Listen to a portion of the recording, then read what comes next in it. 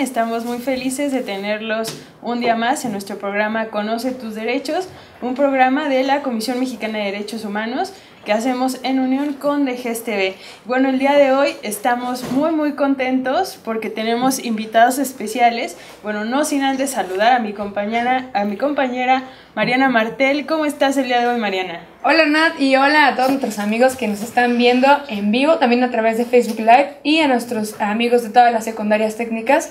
Les mando un saludo y pues de nuevo aquí en su programa Conoce tus derechos, con pues ya están viendo a unos amigos muy especiales que están con nosotros el día de hoy. Sí, y bueno, recordarles que mi compañero Rogelio Pérez eh, no pudo venir el día de hoy por cuestiones de trabajo, pero bueno, Mariana está muy contenta de estar el día de hoy con ustedes. Bueno, hoy vamos a tratar un tema bien, bien interesante. Bueno, tenemos también invitados, ya les habíamos dicho, el tema del día de hoy es el derecho al trabajo. Y no sin antes, también quiero recordarles nuestras redes sociales y teléfonos. Estamos en la Comisión Mexicana de Derechos Humanos para atenderles, orientarlos y estamos a sus órdenes. Eh, nuestro eh, Facebook es Diagonal Comisión Mexicana de DH, Twitter arroba ComexDH y también nos pueden encontrar en Instagram, subimos fotos, historias y videos. Ahí estamos como Comisión Mexicana de DH y nuestros teléfonos el 5687 5450 y 5687 5809. Bueno, ahora sí, vamos a conocer a nuestros invitados del día de hoy y empiezo por aquí, por favor. Tu nombre, eh, tu nombre, de qué año eres y tu edad. Y tu edad. Ah, pues me llamo Viceli, eh, soy de tercer grado de secundaria y tengo 14 años. Muy bien. Yo soy Melanie, también estudié el tercer grado de secundaria y tengo 14 años. Mi nombre es Bruno, eh, estoy en segundo de secundaria y tengo 13 años. mi nombre es Rodrigo, voy en tercer grado de secundaria y también tengo 14 años. Bienvenidos, ¿no? Exacto. Gracias. programa. Exacto. Y también recordarles que vienen de la Escuela Secundaria eh, Técnica 13, Manuel Heiser Jiménez. Eso, eso se nos había pasado decirlo.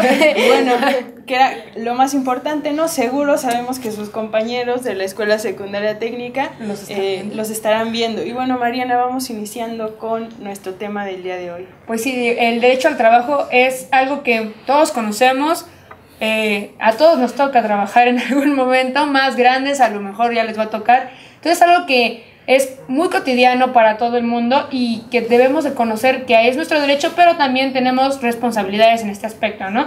Entonces, Nat. Sí, exacto. Y bueno, vamos a ver qué es el derecho al trabajo, de qué se trata, dónde está en la Constitución. Y bueno, rápidamente les leo en la infografía número uno que el derecho al trabajo es el derecho humano fundamental por el que toda persona tiene derecho al trabajo, a la libre elección del mismo, a condiciones equitativas y satisfactorias de trabajo, a la protección contra el desempleo, con, y sin, eh, con igualdad salarial, remuneración digna, protección social y derecho de sindicación. Y bueno, encontramos que nuestra Constitución mexicana está inmerso este artículo en el artículo este derecho, perdón, en el artículo 123 que dice toda persona tiene derecho al trabajo digno y socialmente útil. A efecto se promoverá la creación de empleos y la organización social de trabajo conforme a la ley. Ahí tenemos ese derecho fundamental. Bueno, como bien decía Mariana, tenemos derechos, también tenemos obligaciones. Entonces, Mariana, tú y yo que ya somos trabajadoras, ¿no? Ya lo vemos por, por otro lado. Bueno, nuestros, nuestros invitados del día de hoy nos podrán indicar qué opinan ustedes del derecho al trabajo a lo mejor, ¿no? Desde su punto de vista. ¿Alguien que me quiera eh, contestar? Rodrigo, Rodrigo, aquí.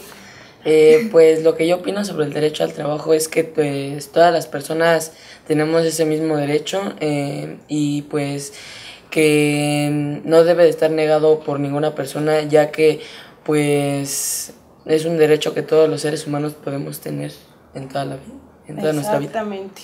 Sí, como bien nos lo dice Rodrigo, es un derecho humano fundamental para todos. Que eso es muy importante, ¿no? Porque muchas veces sabemos que es un derecho porque está en la Constitución, pero es un derecho humano, o sea, eh, es algo que además de que bueno, te da una remuneración y puedes comprar cosas, te hace crecer también como persona, ¿no? Y eso es muy importante. Exactamente, y sabemos que, bueno, tenemos ya, este, somos eh, más capaces, ¿no?, de trabajar cuando llegamos a la mayoría de edad, pero también sabemos que en México, ¿no?, nuestro país, es uno de los lugares, ¿no? De los países en el mundo donde tiene la cuestión del trabajo infantil, ¿no? Donde justo necesitamos las opiniones de ustedes ¿no? Eh, que están en la adolescencia, pero que también están estudiando, ¿no? Y nos pueden dar y retroalimentar en este trabajo.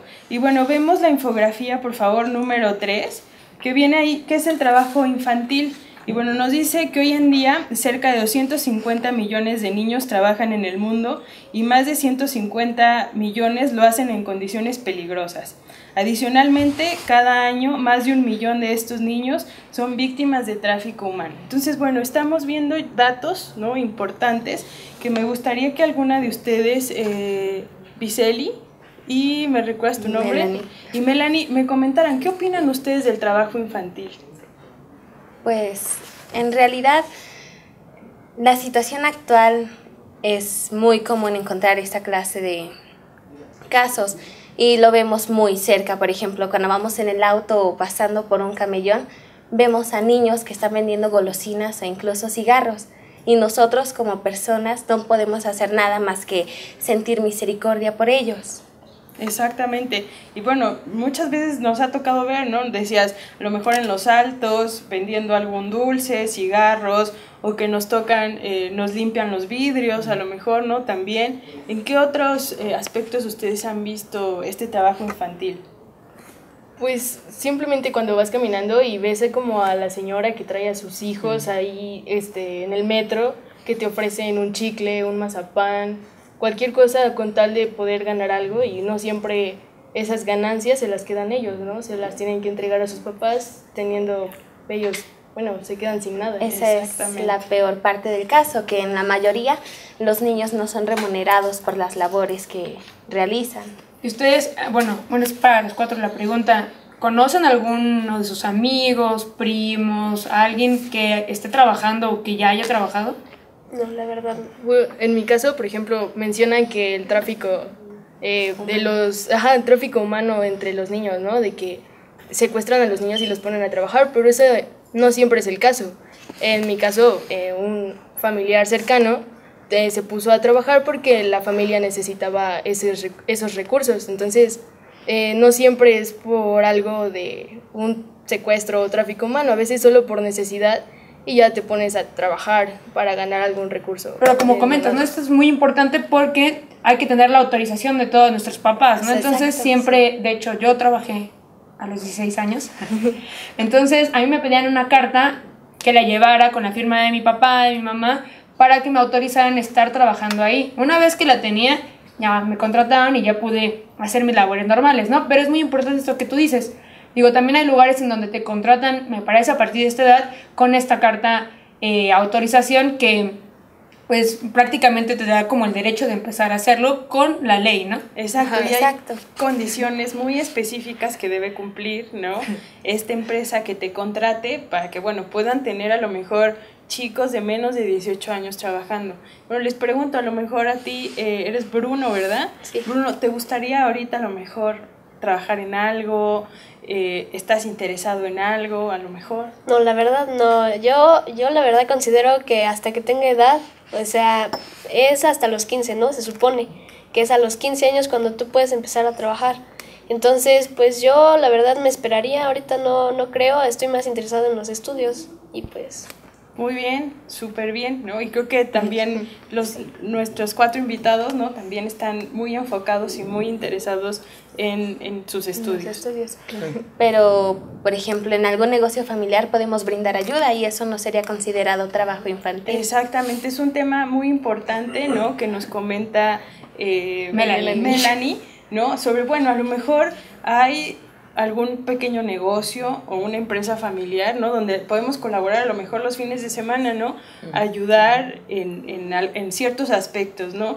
Y bueno, como es de la familia, bueno, pues sabemos, ¿no? Entonces, ¿alguien de ustedes a lo mejor apoya o ayuda en este tipo de trabajos? Sí, yo tengo a mi, a mi tío que es, eh, tiene un taller de que arregla coches y pues yo todos los fines de semana voy a su taller y pues trato de ayudarle como pues ya está, ya es mayor, pues sí le cuesta varias cosas hacer y pues yo trato de, pues brindarle mi ayuda. Creo que es una muy buena respuesta, ¿no? Porque también aprendes, ¿no? Le ayudas y vas generando y ganando más habilidades, ¿no? O sea, ya experiencia a lo mejor en un futuro que quieras, no sé cuál sea, qué quieras estudiar de grande. Yo quiero estudiar de grande piloto aviador. Piloto aviador, bueno, seguro tendrá que ver con algo de lo que está haciendo ahorita, ¿no? Algunas cuestiones de mecánica y así. ¿Alguno de, de ustedes eh, apoya o a lo mejor ayuda? Eh, en algún negocio, en casa a lo mejor también, ¿no? La cuestión de limpiar nuestro cuarto, ¿no? es un apoyo. Trabajo aparte de las labores con las que ayudamos en el hogar. Antes mi mamá tenía un restaurante de mariscos y yo a veces le ayudaba. Muy bien. A lavar algunos platos, a servir en algunas mesas o a hacer cuentas. Exacto, y creo que sí, la, la realidad no es que eh, desde mi, mi, visión un poco pedagógica, yo creo que estas cuestiones que ustedes hacen, ¿no? Eh, les generan, ¿no? Y, y, les ayudan a tener muchísimo más habilidades. A lo mejor alguien que solamente va a la escuela, este, toma sus clases, regresa y hace su tarea y no se involucra, ¿no? Ni un poquito más en ver, en ver a lo mejor eh, las cuestiones del otro. ¿Alguna bueno, aparte, yo bueno, considero que el trabajo, nos, aparte de ser un derecho, también es una necesidad, ¿no? O sea, es lo que nos genera, nos remunera dinero. Entonces, eh, aparte de un derecho, es una necesidad que todas las personas tenemos. Entonces, eh, si podemos apoyar nosotros con el permiso de nuestros papás, pues sería de gran ayuda para ellos. Exactamente.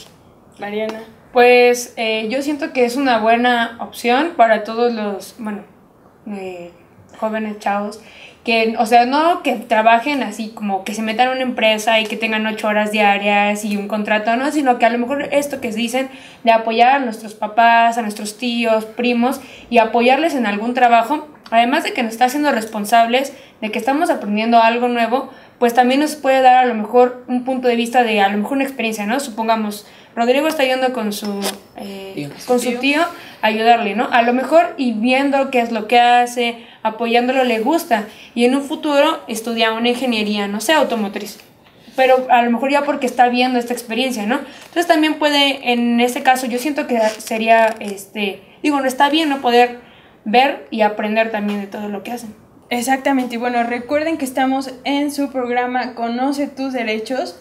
Coméntenos en Facebook, en Twitter con el hashtag Conoce tus derechos. Si quieren a lo mejor realizarles alguna pregunta a nuestros invitados del día de hoy, recuerden que estamos en vivo por Facebook Live. Bueno, estamos pendientes de todos sus comentarios, eh, sus opiniones y a lo mejor sus preguntas. Exacto. Y bueno, yo también quería hacerles una pregunta a, a los cuatro. ¿Ustedes saben cuáles son las condiciones necesarias para trabajar? Sí. ¿Sí? A ver, Melanie. Bueno, a partir de los 15 años, los menores podemos involucrarnos en algún trabajo siempre y cuando no exceda de las 6 horas diarias y no nos ponga en riesgo física o psicológicamente. Eh, sí, eh, eh, completando su respuesta también, si ya quieres trabajar, no sé, algo más peligroso, no sé, en maquinaria o no sé, un ejemplo, en, los, en las bodegas, que no sé, bajar mercancía con un montacargas, pues eso ya también es mayor de edad, que sería los 18 años. Ok, perfecto. Exactamente, ¿no? Y bueno, comentaron un punto bien importante, ¿no? Sobre la cuestión eh, del trabajo. Vamos a irnos un poco al trabajo infantil, a conocer algunos datos de qué pasa en México. Bueno, vamos a la infografía número 5 para ver cómo está, ¿no? Cómo están los demás chicos, a lo mejor de su edad, ¿no? Que sí están trabajando en, en ¿A qué se enfrentan, no? deplorables, ¿no? ¿A qué se están enfrentando? ¿Cómo lo están viviendo? Y bueno, de aquí vamos a tener una reflexión. Y dice, en México 3.6 millones de niñas, niños y adolescentes entre los 15 y 17 años de edad está trabajando de acuerdo al módulo sobre trabajo infantil en la, en la encuesta nacional de la INEGI. Lo anterior equivale al 12.5 de la población infantil de este rango de edad. De ellos, 1.1 millones son menores de 14 años, es decir, que no han cumplido ni la edad mínima ¿no? que estipula la Ley Federal de Trabajo para que puedan estar laborando. Eh, la población infantil que trabaja se concentra fundamentalmente en áreas menos urbanizadas y el porcentaje de trabajadores infantiles en estas zonas es también más elevado que, que de las más pobladas.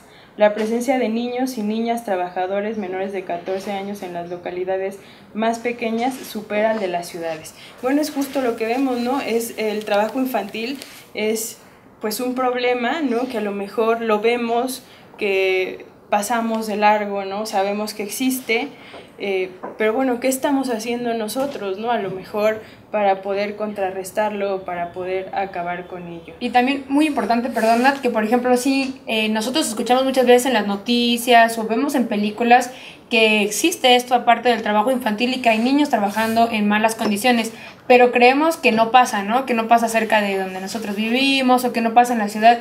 Y con estos datos, estos datos son del país, o sea, son datos eh, que está pasando en en todo, en todo el, el, territorio nacional y son niños, o sea, de tu edad, por ejemplo, eh, Bruno, o de su edad, que están trabajando y que no están teniendo a lo mejor la oportunidad de poder estudiar, ¿no? Entonces también eh, yo siento que es algo que hay que reflexionar y que hay que considerar y también valorar, ¿no? También la oportunidad que tenemos de estudiar y que no estemos teniendo la necesidad de trabajar. Exactamente, valorar, ¿no? A lo mejor, ¿qué reflexión, eh, Melanie, nos puedes dar esto? A lo mejor que tú sí eh, estés en la escuela, ¿no? Que eh, puedas tomar tus clases, ¿no? De 7 de la mañana a 2 de la tarde, que no necesites salir a trabajar, ¿no? Es, eh, ¿Qué opinión tienes de esto? Constantemente vemos esta clase de casos, como ya había explicado antes, en los altos o en pequeños establecimientos o locales también vemos a niños que trabajan en malas condiciones y uno siente que debería ayudar, a pesar de que no podemos hacer nada. Y al reflexionar, sabemos que somos afortunados por las oportunidades que tenemos, porque podemos estudiar, porque podemos recibir una educación de calidad y en muchas comunidades rurales no se tienen. La educación no es pertinente. Exactamente, ¿no? Eh, eh, y lo que nos comentaba, eh, lo que había los datos que había sacado el, el INEGI, que muchas veces en las poblaciones más rurales es donde los niños más trabajan, ¿no? Más están en la necesidad. Más están en la necesidad de trabajar. Bueno, por estas cuestiones a lo mejor no pueden ir a la escuela y se va haciendo como un círculo vicioso, ¿no? Tienen que trabajar, no van a la escuela, pues no tienen buen rendimiento, ¿no? Y así se va haciendo como este círculo. Mariana no sé, acá de este lado, ¿qué, qué opinión tienen, qué reflexión? bueno, este, pues mi opinión sobre el trabajo infantil es que primero, pues le están privando sobre el derecho de la educación. Eh, por ejemplo, a un niño pequeño le estás privando el derecho de desarrollarse bien, o sea, tanto física como psicológicamente, a divertirse, este, y pues, y a jugar, ¿no? También. Y pues esto es lo que yo opino sobre el trabajo infantil. Eh, también eh, no es no existen casos que no es que los padres no quieran que los hijos estudien o que los obliguen a trabajar, es porque a veces los padres no tienen los suficientes ingresos para darles una educación a sus hijos. Simplemente con los útiles que piden en escuelas, eh, no sé, los materiales que ellos piden, pues a varios papás sí se les va, sí se les complica pues pagar ese tipo de, de materiales que piden las escuelas. Entonces su opción más fácil que tienen pues es mandar al hijo a trabajar para que pues por lo menos ayude en casa. Exactamente. ¿Les parece si cambiamos un poco el tema? ¿No? Porque bueno, ya, ya vimos, ¿no? Ya reflexionamos un poco acerca de la cuestión del trabajo infantil, ¿no? Y cómo es eh, algo que vemos, ¿no? Y a lo mejor... ¿Cómo está la situación actual? Exacto, y que muchas veces nos duele. Pero ahora les pregunto, en un futuro, a lo mejor ya cuando terminen una carrera, terminen de estudiar, ¿en qué les gustaría trabajar? ¿Empezamos por aquí o por dónde quieren empezar? ¿Por allá? Mm, Vamos a empezar por acá. Pues, como dije, A ver, a sí. mí me gustaría trabajar de grande, ser piloto, piloto aviador, ya que pues eso es lo que me llama la atención y pues me gustaría eh, pues estudiar eso de grande. Piloto mí- aviador. Muy A mí me gustaría eh, arquitectura, ya que a mí pues se me da mucho eso del dibujo.